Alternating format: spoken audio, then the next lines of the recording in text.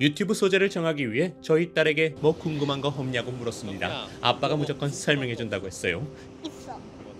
근데 물은 막 흐물흐물하고 투명한 거예요. 저희 딸은 물은 왜 흐물흐물하고 투명하냐고 물었어요. 물이 흐물흐물한 건 대답하기 쉬웠어요. 그냥 모래처럼 여러 입자들로 만들어져서 그렇다고 하면 되죠. 하지만 물이 투명한 건 투명한 건 투명한 건 생각보다 너무 어렵습니다. 왜 하필 저는 바다에서 이런 질문을 했을까요? 과학을 조금 배운 사람들은 어쩌면 이 세상이 투명하지 않다는 게 이상하다고 생각할지도 모릅니다. 투명하지 않다는 건 빛이 통과하지 못한다는 것을 의미하죠. 그런데 빛이 물질을 통과하지 못한다는 게 조금 이상할 수도 있어요.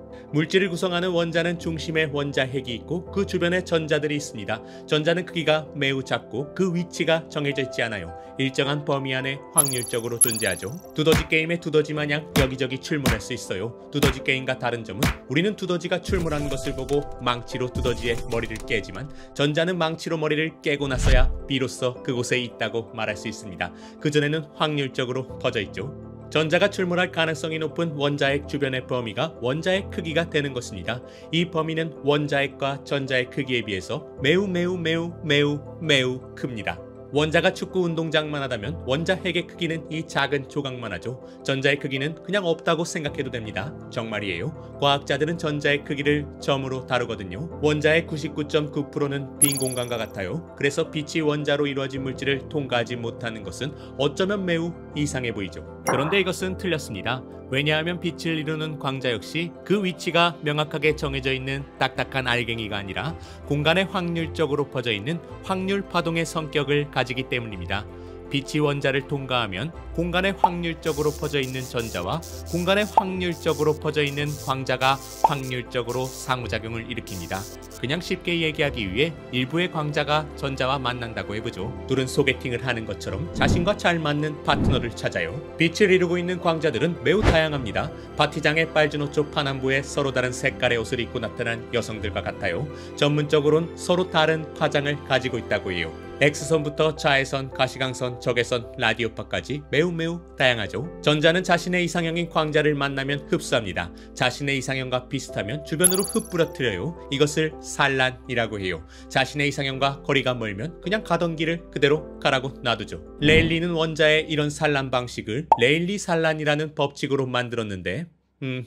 이제 이런 머리 아픈 얘기는 하지 않도록 하죠. 원자에서 전자와 만나 산란되는 광자는 아주 일부입니다. 더욱이 우리 주변의 물질들을 이루는 원자나 분자들은 대부분 적외선과 자외선 영역대를 취향으로 가지고 있습니다. 그래서 우리가 눈으로 보는 가시광선은 대부분 산란되지 않고 그냥 통과해야 해요. 그러니 이상한 것입니다. 우리 주변 물질들은 어째서 투명한 것보다 투명하지 않은 것이 훨씬 많은 걸까요? 먼저 우리가 간과한 한 가지는 물질들은 원자 하나로 이루어지는 게 아니란 것입니다. 원자 하나에선 일부의 광자만 주변으로 산란되지만 빛이 무수히 많은 원자들을 통과하다 보면 산란되는 광자가 매우 많이 증가합니다.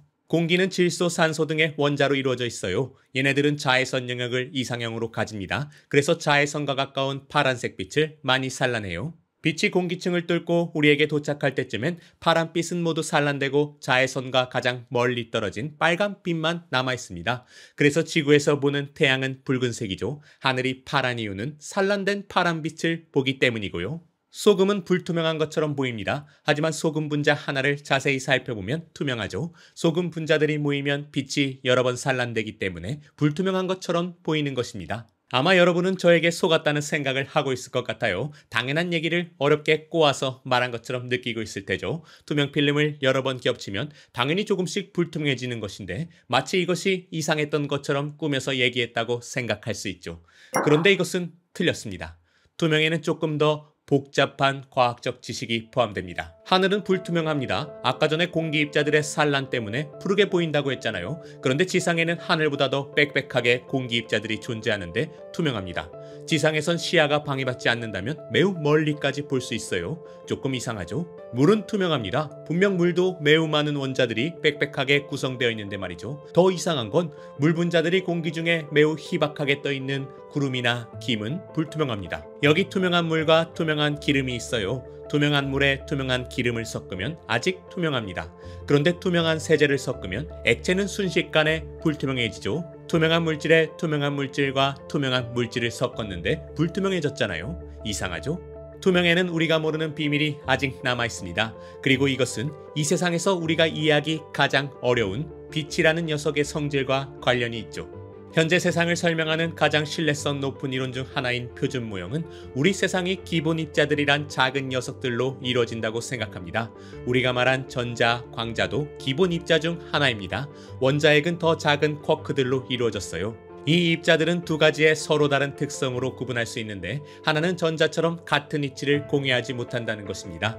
지하철에 자리가 하나 남았다면 전자는 그 자리에 둘이 앉을 수 없어요. 하나는 밀려나야 하죠. 이런 특성을 가진 입자들을 페르미온이라고 해요. 그런데 광자는 다릅니다. 광자는 같은 자리에 둘이 앉을 수 있어요. 셋이 앉을 수도 있고 마음껏 앉을 수 있죠. 손전등에서 나온 빛을 우리가 한 곳에 모을 수 있잖아요.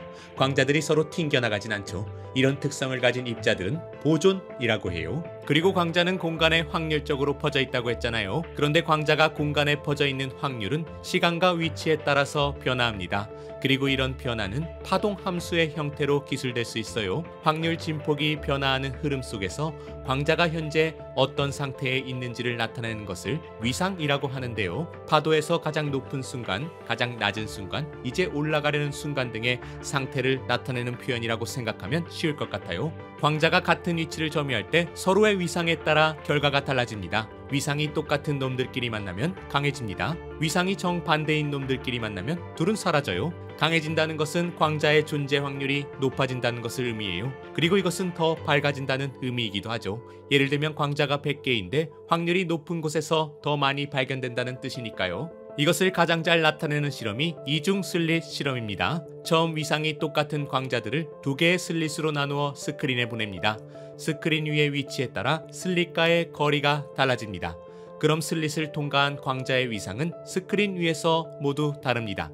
마찬가지로 다른 슬릿을 통과한 광자의 위상도 스크린 위에서 달라집니다. 두 개의 슬릿을 통과한 광자의 위상들이 스크린 위에서 똑같다면 그 부분은 더 밝아집니다. 만약 위상이 정반대라면 그 부분은 어두워집니다. 그렇게 스크린 위에는 밝아졌다 어두워지는 간섭 무늬가 생성되죠. 이것은 많은 원자들을 통과하는 빛에서도 똑같이 발생합니다. 원자를 통과하며 사방으로 산란된 광자들은 서로 같은 위치에 중첩될 수 있습니다. 하지만 원자들의 수가 적고 불규칙하게 분포된 영역에선 어떤 위치에서 만나는 광자들의 위상이 모두 제각각입니다.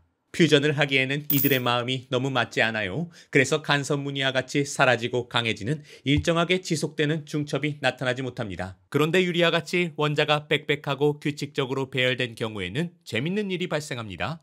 전방을 제외하고 다른 방향으로 향하는 모든 광자들이 서로 상쇄를 일으킵니다. 빽빽하고 규칙적인 원자 배열에선 항상 자신과 반대 위상을 가지는 광자들이 방출되거든요. 예를 들면 옆으로 산란된 광자들은 2분의 1 파장 떨어진 원자에서 산란된 광자와 항상 위상이 반대가 됩니다. 뒤로 산란된 광자들은 4분의 1 파장 떨어진 원자에서 산란된 광자와 위상이 반대가 되요. 참고로 파장이란 파동의 동일한 형태가 반복되는 간격을 말합니다. 파도의 가장 높은 지점에서 다음 높은 지점까지의 거리를 생각하면 됩니다. 전방으로 산란된 광자들은 항상 위상이 똑같은 상태로 만납니다. 이들은 물질을 통과하는 원래의 빛과 합쳐져서 진행합니다. 덕분에 물질을 통과하는 빛의 속력이 바뀐 것처럼 나타나요. 합쳐진 광자들이 발목을 잡으면서 파장을 바꾸기 때문이죠. 그런데 이상하죠. 우리 주변 대부분의 물질들은 원자들이 빽빽하고 규칙적으로 배열되어 있는데 그렇다면 대부분의 물질들이 투명해야 하지 않나요? 그 비밀은 경계면에 있습니다. 원자의 종류가 바뀌는 경계면에선 뒤로 진행하는 산란 광자들이 서로 상쇄되지 않는 영역이 존재합니다. 경계면 근처에서 산란된 광자들은 자신을 지워줄 짝꿍이 없어요. 자신이 만나는 광자는 다른 종류의 원자에서 산란된 광자들이거든요. 그럼 짝짝꿍이 맞지 않습니다. 경계면에서 이렇게 뒤로 진행하는 광자들을 반사파라고 합니다. 빛은 매질이 바뀌는 경계면에서 일부가 뒤로 산란됩니다. 공기에서 유리로 진행할 때는 대략 4%의 빛이 반사되어요. 종이를 확대해서 보면 표면은 구멍이 송송 뚫린 매우 불규칙한 형태입니다. 이것은 여러 경계면을 만들기 때문에 반사되는 빛을 많이 만듭니다. 그래서 종이는 불투명한 것이죠. 또 다른 가장 적합한 예는 바닷물을 들 수 있겠어요. 바닷물은 가까이서 보면 물처럼 투명합니다. 그런데 먼 바닷속을 보면 불투명하죠. 이것은 바닷물이 깊이에 따라 온도와 압력이 변하면서 밀도가 조금씩 달라지기 때문이에요. 그래서 바닷물은 매질이 다른 여러 경계면이 형성되어 있는 것과 마찬가지죠. 경계면에서 빛이 조금씩 반사되기 때문에 빛이 깊은 곳까지 투과하지 못하는 것입니다. 바닷물이 에메랄드 등의 다양한 색상이 나타나는 것은 이 과정에서 바닷물 속의 불순물 입자들이 자신의 이상향인 광자들을 흡수하기 때문이에요. 반사되어 나가는 광자들은 이 광자들이 빠지기 때문에 색상이 나타나게 되는 거죠. 이제 물질이 불투명할 수밖에 없는 이유에 대한 퍼즐 조각을 거의 맞춘 것 같아요. 우리 주변 대부분의 물질들은 순수하지 못합니다. 하나의 동일한 원자나 분자로만 이루어지지 않고 불순물들이 끼어 있어요. 서로 다른 매질들의 다양한 경계면이 존재합니다. 이런 것들은 산란되는 광자들이 서로 짝을 이루어 상쇄되는 것을 방해합니다. 물질을 통과하는 빛은 주변으로 산란되며 에너지를 점차 잃게 됩니다. 물의 세제를 통해 기름을 섞었을 때 갑자기 불투명해진 건 기름 분자들이 물 분자와 섞이면서 불규칙한 입자 배열을 만들기 때문에 불투명해진 것입니다. 그런데 물질이 불투명한 다른 이유가 한 가지 더 있는데 그냥 넘어가면 과학도들이 또 들고 일어날 것 같으니까 간단히 언급해 볼게요. 전기가 통하는 도체는 다른 메커니즘으로 불투명해집니다. 도체는 전자들이 내부를 자유롭게 움직일 수 있어요. 이 전자들은 빛에 대해선 무적의 수비수입니다. 빛이 도체를 통과하려고 하면 경계면의 전자들이 모두 막아 세웁니다. 그대로 돌려보내요. 도체 표면에 광택이 나는 이유는 이것 때문이에요. 핸드폰을 Faraday cage라고 불리는 쇠창살에 가두면 전화가 울리지 않습니다. 전파도 빛의 일종이기 때문에 도체를 통과하지 못하는 것입니다. 그럼 이제 투명인간이 왜 어려운지 자연스럽게 알 수 있어요. 매우 복잡한 원자나 분자들로 이루어진 인간은 산란되는 광자를 없애지 못합니다. 개구리를 용액에 담궈서 투명하게 만드는 기술을 개발했다는 뉴스를 본 적 있어요. clearing이라는 기술인데 생체 조직에서 지방 등의 불필요한 분자들을 제거하고 특수 용액으로 조직 내 입자들이 규칙적인 형태를 이루게 만드는 것입니다. 당연히 개구리가 죽은 이후에만 가능했죠. 심해에 사는 일부 오징어는 몸을 투명하게 만들고 주변에 따라 색과 투명도를 조절할 수 있습니다. 세포 내의 단백질 배열이나 형태를 조정하거나 특정 세포 성분을 움직이면서 빛의 산란을 조절할 수 있어요. 물론 오징어가 인간보다 단순한 성분으로 이루어져서 기본적으로 투명하기 때문에 가능한 방법입니다. 우리처럼 불투명한데 투명하게 되고 싶은 게 아니라 투명한데 불투명하게 만드는 것이죠. 사실 우리 몸에도 이미 투명한 곳이 있습니다. 손톱과 발톱 그리고 눈의 수정체는 투명합니다. 손톱 발톱은 케라틴 단백질과 수분, 지질, 미네랄 등이 모두 일정한 패턴과 균일한 밀도로 이루어져 있어 빛을 산란시키지 않고 그대로 통과시켜요. 수정체 역시 크리스탈린 단백질과 수분이 규칙적인 구조를 만들고 있습니다. 눈이 맑고 투명한 사람을 순수한 사람이라고 하잖아요. 이제는 순수하고 규칙적인 속이 빽빽한 사람이라고 해야 할 것 같네요.